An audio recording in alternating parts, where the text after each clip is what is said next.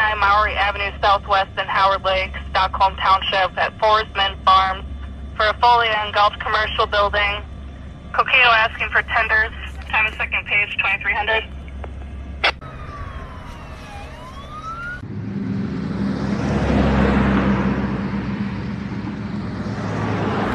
The scriptures speak about dark sayings. The scriptures speak about these dark sayings. Nobody wants to receive the dark sayings. Proverbs 1 6. Nobody wants to receive the dark saints because it's unsettling. It's not, it's not, it's not appeasing to them. Read that. Proverbs 1 and 2 to know wisdom and instruction, to perceive the words of understanding, to receive the instruction of wisdom, justice, and judgment and equity. This, what we're giving you, is wisdom. We're giving you wise counsel about the last days that we're living in. Nobody else is telling you. Nobody's telling you. You got these big mega church guys, Joe Creflo Dollar, T.D. Jakes, uh, Joel Osteen, and they ain't saying a damn thing about what's coming, man. They ain't telling you about the destruction of America. They ain't telling you about the famine that's coming. The famine is here, man. Right. All they're talking about is just trusting Jesus and prosperity. You got people flocking to these damn churches, giving them every last dime, still going home broke. Still going home trying to figure out how to make ends meet, man. When you want to come out and hear the word, you come out and hear the words of the prophet that the Lord set up, man. And we want to tell you the truth. Right. There's bad times coming, man. Evil times are coming. If you got kids, you got family, you better hope and pray that the Lord guides you to where you're going to be able to get some food. That's right. Because they're running out of food. Joe Biden keeps telling you people, yeah, we're running out of food. It's going to be bad. It's going to be an ugly summer. It's going to be grim. And people ain't paying attention, man. You ain't paying attention, you're going to get caught out there. And that's where we're going to go back to 2nd Esdras, the 15th chapter, and finish that out. Go ahead. Oh, Jeremiah 28 verse 8, the prophet that had been before me and before thee of all prophesied both against many countries and against great kingdoms of war and of evil and of pestilence. Jeremiah said the prophets that were before him did the very same thing that he did. And we're saying the very same thing that Jeremiah did about the war, the evil, and of pestilence. If you don't understand it and you don't receive it, then the Lord don't want you to receive it. And you will be destroyed. Bottom line. But going back to the fact of the matter is this, ain't nobody telling you about what's happening in the world, man. Go ahead. This is uh, Zephaniah 1 and 11. How ye inhabitants of Maktesh, for all the merchant people are cut down, all they that bear silver are cut off. Now, the modern day Maktesh is the New York Stock Exchange, man. That's that modern day Maktesh. That's where money and, and goods were exchanged over there. Okay?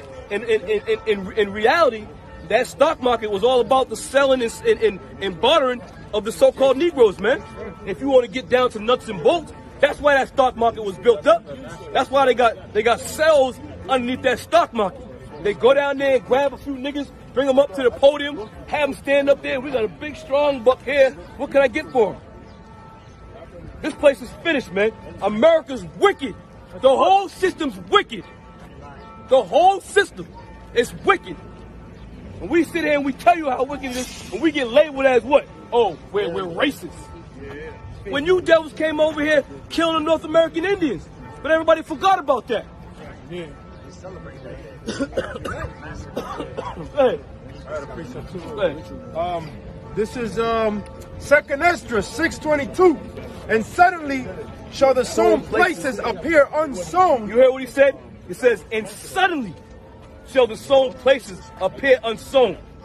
You're going to wake up one morning and it's going to be on, man. You're going to wake up and life is going to be totally different from what you knew it to be, man. Watch. Go ahead. The full storehouses shall suddenly be found empty. Go ahead. The full storehouses shall suddenly be found empty. And they're working their way to that point, man. They're working their way to that point of being found empty. And when you go into, you know, your local Walmarts, stopping Shops, you know, whatever place you got in your area, you're gonna realize one or two things, man. The shelves are empty and the prices are going through the roof, man. Going through the goddamn roof. I went and picked up a couple things last night, man. I spent damn near sixty dollars for shit that went in one bag. Sixty dollars worth of shit that was in one bag. And they charge you for the bag. No, no, no, no, Walmart. They didn't give me a Walmart. Well, it's just a matter of time. A Walmart that charge you for the bank? And listen, man, they, they listen. They're putting a stronghold on you people, man. They make you ta- uh, make you bag your own shit too. Yep. Yeah. You better- places they don't even have cash. Uh, cash. Uh, yeah. You better wake up. You people better wake up. They're even starving out the animals, man. There's even a shortage of fucking animal food, man. They're going right across the board. This devil, this devil, he, he- he's he's stopping at nothing to kill you people, man. Oh, the, the, formulas. too. Hey, yeah, no, we- yeah, we mentioned that. I seen a, a, a, clip of an Edomite crying his, his ass out because he had a newborn. You know what I'm saying? He can't get no formula. Yep. Well, You know? well, unfortunately, all those who are outside the sanctuary, you most likely, you and your kids are going to die, man. That- That's what this is. This is the headline. Yeah, yeah, read the headline, read the headline. And he says, um, this is from um, NPR.org. He says, with food prices climbing, the UN is warning of a crippling global shortage. You see that? With the UN, the, what was this? With food With- prices with climbing, Food, with food prices climbing, the UN is warning of crippling global shortages, man. What does that mean, crippling, man? Meaning you ain't you gonna have a hard you gonna be hard pressed to find some food, man. To find a morsel of food. You're gonna be hard pressed, man. And that's why, and listen, you people, but listen, the prophets are telling you, from the head of apostles on down, we're giving you, we're giving you sound advice right here. If you outside the sanctuary, you people better go, and even within a, even within the realm of who we are, you know, we're wise. We go and get a little bit of water, get a couple perishable goods, non-perishable. We get a few things. We ain't going crazy with it, but at the same time, you people better go out there and get stock your damn shelves. Don't be walking by like it's all gravy, because you're gonna get to that door one day and pull it. It's gonna be locked, man. Likewise with these banks. These banks gonna do the same damn thing, man. Are you surprised about how strong the sustainability theme has been right through the pandemic? No, um, I would see even a, a chance to to um, uh, to accelerate, uh, let's say, our uh, transition into a green economy. Therefore, we have to move faster.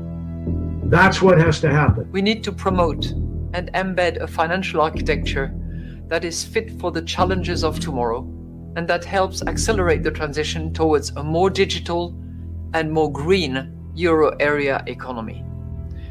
It is a challenge. It would be easy to revert back to our turf, to our behind our borders, and to assume that life will continue as it was. We cannot let a good crisis go to waste. We have to use it to be stronger the day after.